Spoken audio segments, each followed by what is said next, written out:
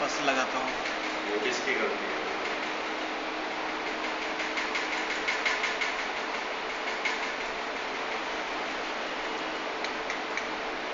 तो बच नहीं